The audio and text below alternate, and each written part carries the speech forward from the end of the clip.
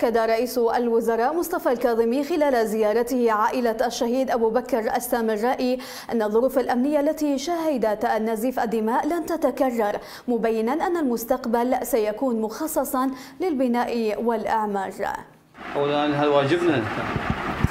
هذا واجبنا أنتم أهلنا آه، الشهيد أخونا. بارك الله فيك. وراح حقيقة تضحية من أجل العراق مستقبل العراق مستقبل أجيال العراق. هذه الظروف إن شاء الله ما تتكرر اللي دائما نقدم بها دماء. إن شاء الله المستقبل الاجيال المستقبل يقدمون كلها بناء. إن شاء بناء الله. مستقبل العراق يستحق وأنتم تستحقون. يجب أن نصنع نصنع فرصة أمل لمستقبلنا ولبلدنا.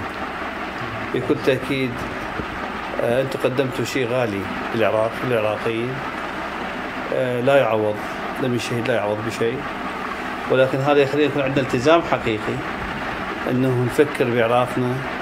بكل عراقي بغض النظر عن الانتماء المنطقي الانتماء المذهبي القومي يجب أن نشارك بالهوية الوطنية للعراق في مس الحاجة. كانت عندنا أخطاء في الماضي. يجب نستفاد من الأخطاء نتعلم منها درس أي لا تتكرر.